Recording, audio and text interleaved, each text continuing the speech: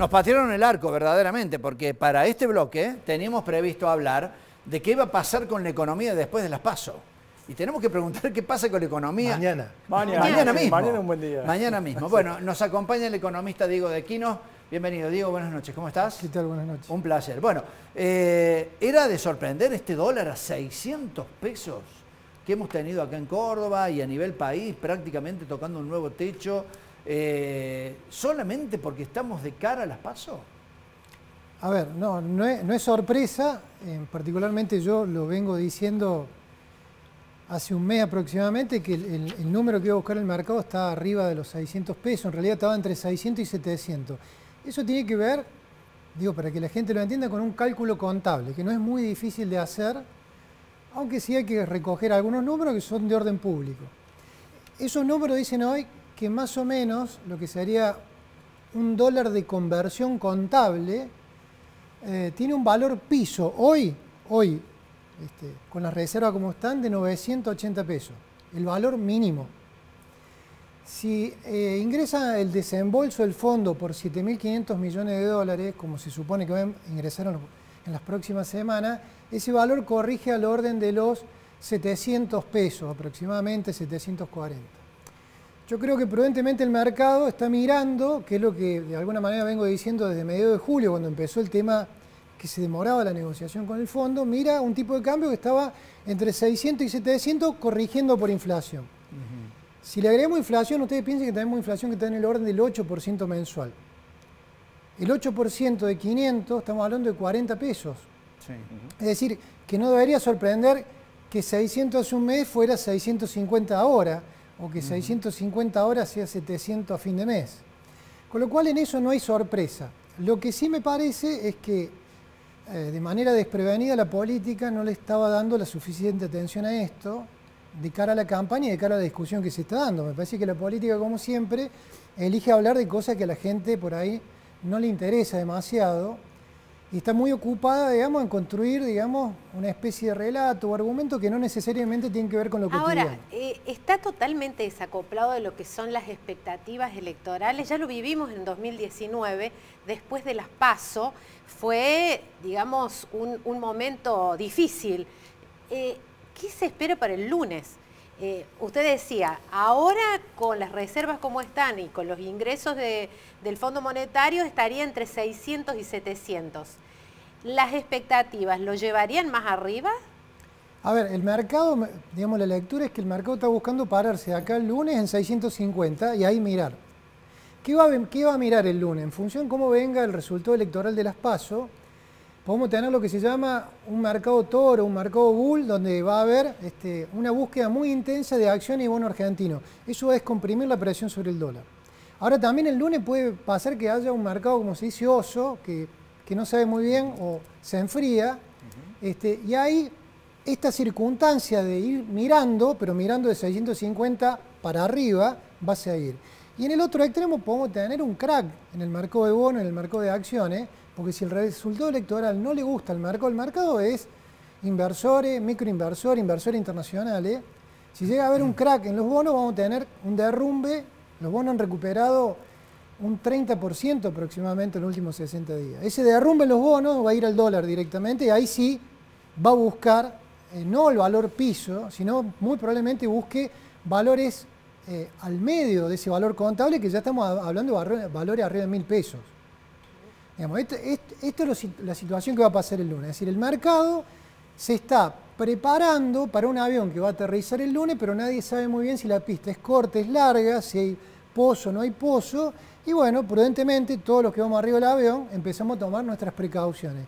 Algunos más arriesgados este, tomarán alguna decisión previa, este, como estamos viendo en el marco de bonos o de acciones, y los más conservadores van a elegir protegerse. Diego, em, cuando se anunció la candidatura de Massa, el mercado tuvo una buena reacción, ¿no? Eh, un poco se decodificó de que eh, en lugar de, de, Guado de Pedro, que era una figura más de centro-izquierda, eh, bueno, eligieron a una figura más pro-mercado. ¿Por qué no se está calmando tanto el mercado o de pronto puede tomar fuerza una, fuerte dolarización de, de carteras, a pesar de que tenemos todos candidatos pro-mercado, incluso el del oficialismo? Yo tengo una respuesta simple para eso, que es porque el ministro sigue siendo ministro. Si Massa hubiera dejado de ser ministro, aunque hubiera puesto a alguien de su equipo, eh, muy probablemente tendríamos una situación diferente. Yo creo que la explicación de ese divorcio entre de pronto tres tercios de candidato pro mercado y que eso al mercado lo alegró, empieza a haber turbulencia de acá a ver qué va a pasar este, este domingo en las pasos. Tiene que ver eh, donde tenemos un ministro que está en plena campaña con mucha turbulencia, donde hay una empresa que ha perdido mucho valor, que el país y el Estado, eso se ve en la cadena de las reservas brutas, y que entre medio de eso ha ido perdiendo lo que se llamaría la disponibilidad en banco y el cash en la caja, que eso son las reservas netas y las reservas líquidas. Este, mientras pase eso, ese ministro está prometiendo eh, cosas que no necesariamente explica cómo lo va a poder cumplir. ¿Y hay alguno, eh, algún dirigente dentro de la oposición eh, que genere una visión, una expectativa de mayor solidez. Ya Patricia Bullrich tuvo en estos últimos días un derrape con el famoso video del Banco Central sobre las reservas físicas, tuvo que salir a explicar. Son como síntomas de, este, de que, no sé, de, que no hay una preparación para semejante crisis que tenemos. Lo que, pasa es que es lo que yo mencionaba recién, el, país ha tenido una pérdida de valor progresivo, eso se ha ido viendo en la pérdida del crédito que tienen los países que se refleja en las reservas brutas, y es una situación que compromete las acciones inmediatas. Eh, como estamos en campaña, es muy difícil que los candidatos puedan explicar qué van a hacer este, el día siguiente de algo que todavía es encima este, una elección provisoria, ¿cierto? Como son estas pasos. Ahora, yo, voy a tratar de ser positivo porque la verdad que esta situación sé que angustia a la mayoría.